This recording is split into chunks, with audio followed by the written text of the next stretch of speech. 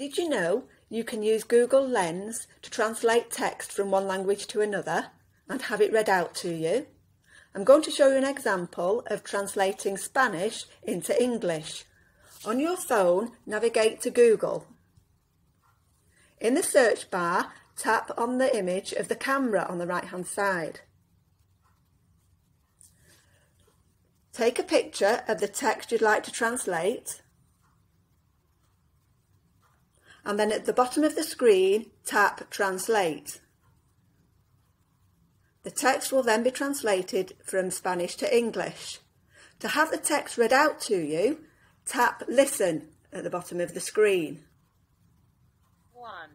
Stop and the traveller in the late afternoon goes. To change the translation from Spanish to another language, Tap on the language at the top of the screen. In this example, the language is Spanish to English.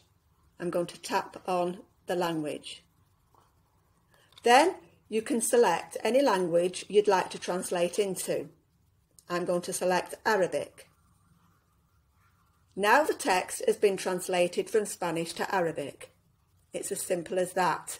I hope you enjoy using this feature and find it useful. Thank you for listening. Goodbye.